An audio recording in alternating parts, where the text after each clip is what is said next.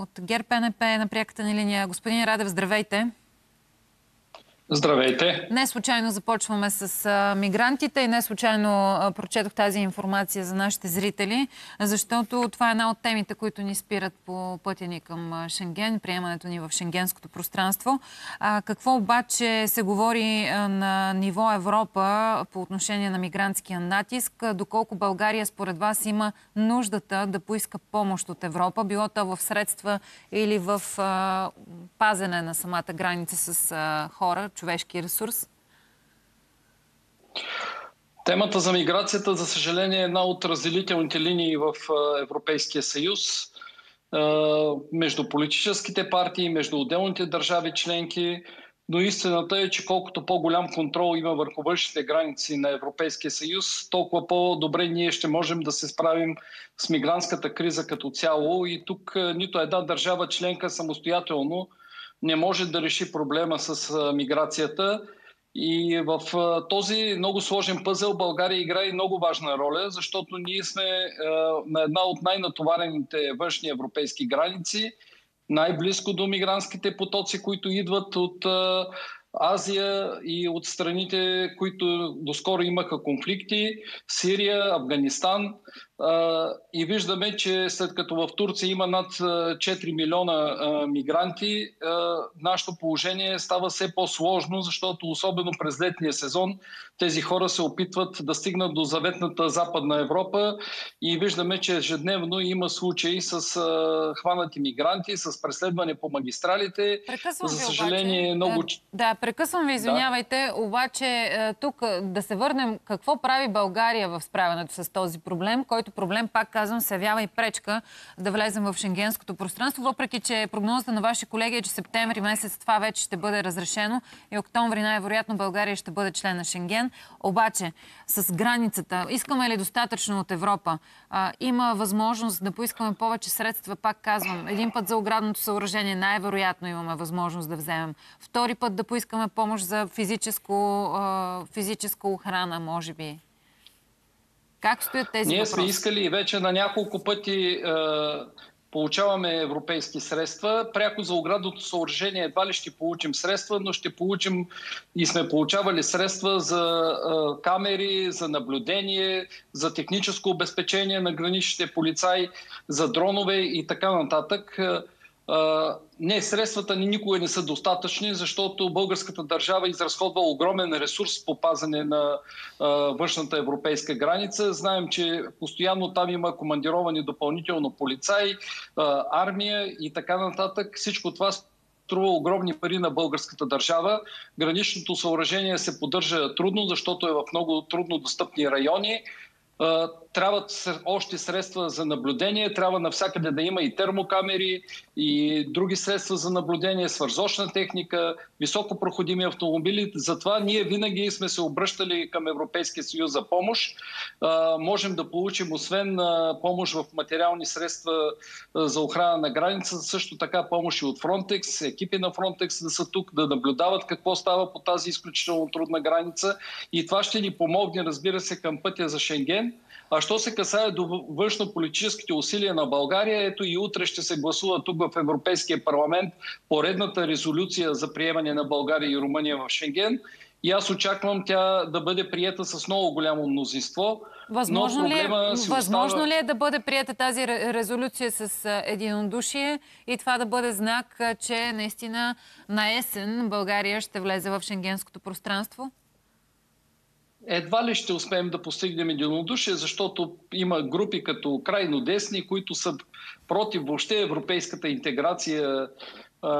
Също има и крайно леви, които също застъпват тези идеи, така че ние няма да постигнем единодушие, но ще постигнем едно огромно мнозинство, както и сме постигали по този въпрос и в предходни години. Но проблема на България не е нито с Европейския парламент. Той винаги е заставал зад България и Румъния по пътя им за Шенген. Европейската комисия също показа явна подкрепа през всичките тези години за приемането на България и Румъния в Шенген. Проблема все още остава в съвета и по-точно в две държави членки Нидерландия и Австрия. И за съжаление това, което става в Нидерландия с предстоящите избори през месец ноември, това може би ще е доста сериозна спънка по пътя ни за Шенген и приемането ни през Ама, тази година, защото именно изборите... темата миграция. Понеже казвате, изборите са в, а, през ноември, ние не би ли следвало до ноември месец вече да имаме яснота, а, ще влезем ли в Шенген или не? Яснотата е точно с промяната на позициите на тези две държави, на Австрия и на Нидерландия. Не сте и тъй като правителството в Нидерландия не съм оптимист, защото именно темата миграция беше повода за оставката на правителството на Рюте в Нидерландия.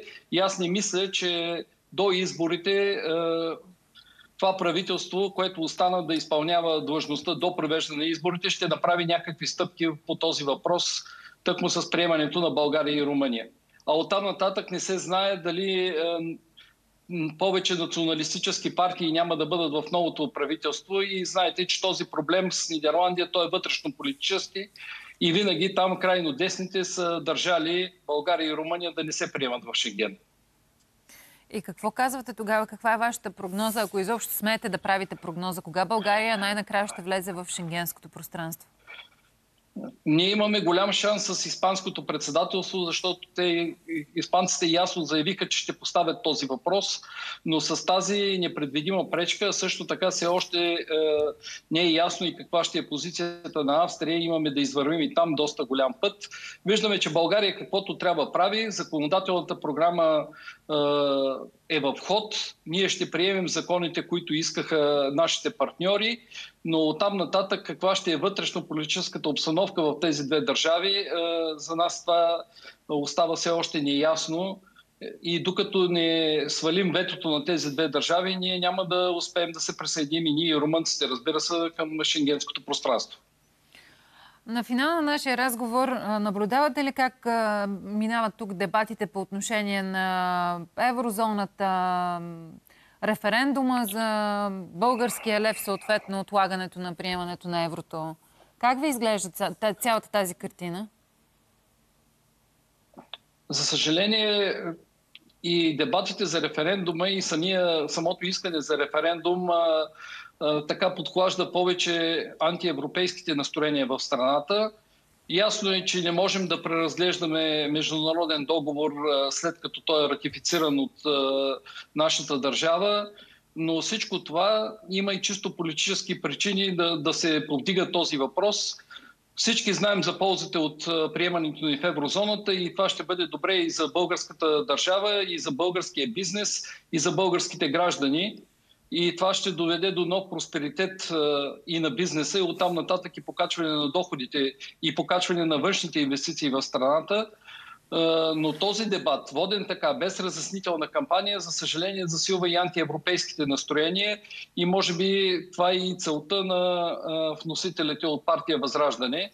Престоят местни избори, след това предстоят и европейски избори и тези въпроси наистина ще бъдат поставени в центъра на вниманието на българските господаватели. Как обяснявате били ли сте в ситуация, в която а, да се посочват негативите по отношение на еврозоната в а, политическата риторика, която чуваме тук от някои политически формации? Инфлация, скачане тази... на инфлацията, а, всичко това, което сте чували като описващи рискове, ако влезем, ако приемем еврото за а, наша валута. За съжаление, пълно е с а, фалшиви новини и нека да погледнем една държава, която е много близко до нас, Харватия. А, тя прие еврото и виждаме и резултатите от това и те са напълно положителни. Видяхме, че всички тези мантри, как ще се повишат цените, ще намалеят доходи и така нататък, ще се повиши инфлацията, не се сбъднаха. Напротив, инфлацията намаля, доходите се покачват, нямаше вдигане на цените, освен в първите дни и пазара регулира всичко от там нататък. Така че имаме един много положителен пример на една държава, която е в сходна ситуация с нашата. И, и примера е от преди по-малко от половин година. Така че фалшивите новини могат лесно да бъдат оборени и ние виждаме един положителен пример съвсем близко до нас. Благодаря много, господин Радев, за този разговор. Успешен работен ден да имате. А сега, уважаеми зрители, отиваме към една реклама. Следват новините